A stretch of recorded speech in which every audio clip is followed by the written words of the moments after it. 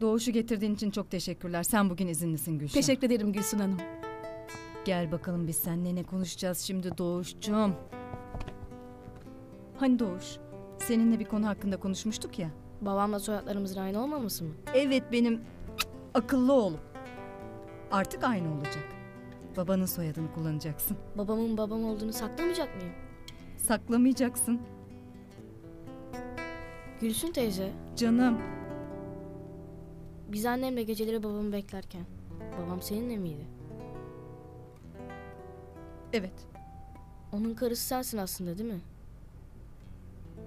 Ama babam senin evinde de kalmıyor. Benim yüzümden mi? Onu da nereden çıkardın Doğuş'cum? Baban da, annen de. Ben de. Seni çok seviyoruz. O zaman ben neden okuldaki çocuklar gibi değilim? Neden babamla aynı evde değiliz? Herkese yalan söylüyoruz hep. Neden? Sen de annem olunca o çocukların aileleri gibi olacağız. Akşamları yemeklerimizi birlikte yiyeceğiz sanmıştım.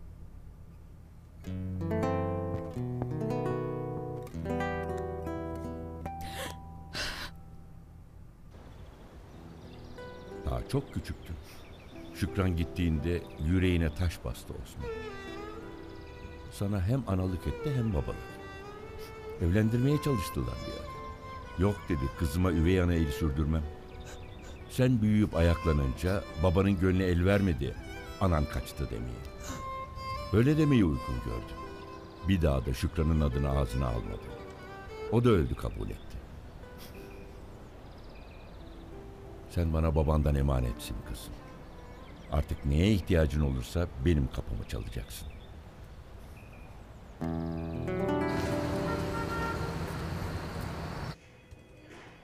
Tarık Bey affedersiniz.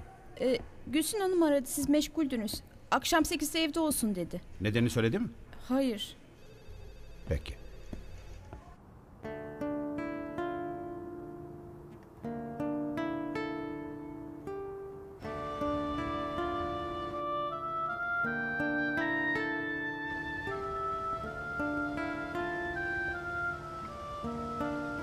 Kader Hanım gelmeyeceklermiş.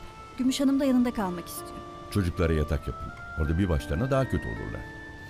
Orada kalmayı kendileri istiyorlar baba. Len, Ben de çok ısrar ettim dede. Gelmiyorlar.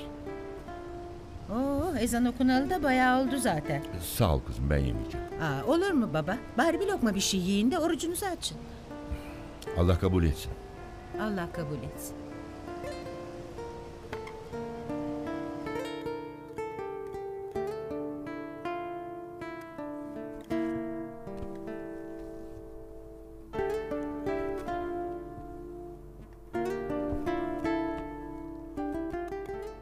Kader. Ben hemen geleceğim tamam mı? Bir şey istiyor musun canım? Kader. Tamam.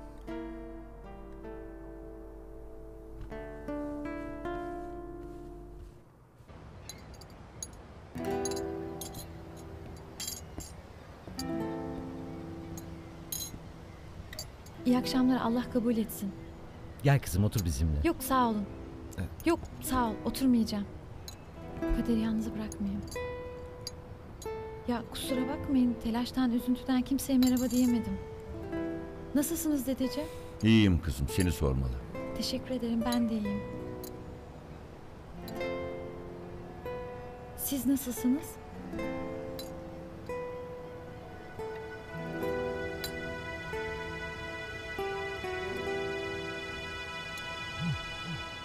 Akşamlar.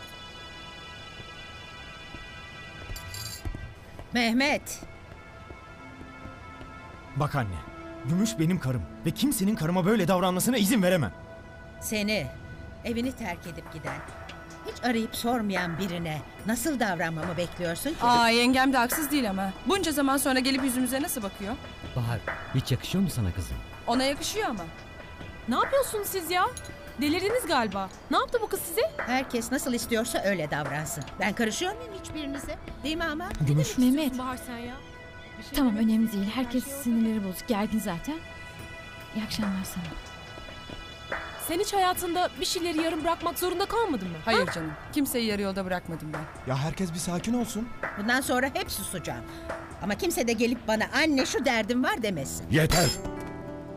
Ölüye bile saygınız yok. Yazıklar olsun sizlere.